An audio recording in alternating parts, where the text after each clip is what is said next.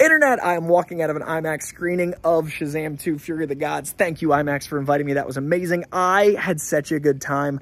I know people think I like everything, but I haven't been liking everything lately, and it feels so good to like something again. This movie's got a 68% Rotten Tomatoes as of filming this, and I did not experience that movie. The childlike glee and wonder of the first film is here. A lot of the heart is here. Maybe not quite as much, but a lot of the heart, and there are so many beautiful action set pieces that feel ripped right out of the comic books. Shazam comics are weird. They get into some crazy character design. They get into some crazy esoteric concepts, and this nails so much of that. This is childlike glee of the 80s mixed with Pagemaster sensibilities. This felt like Pagemaster to me. This is all of the Shazam you know and love getting to flex in a very fun way. This is family. And I honestly, I I liked it so much that there were moments that I wanted to judge and there were things that didn't land, but I was so gleeful, I couldn't be cynical. This was an anti-critique for me. I had such a good time. Go see Shazam.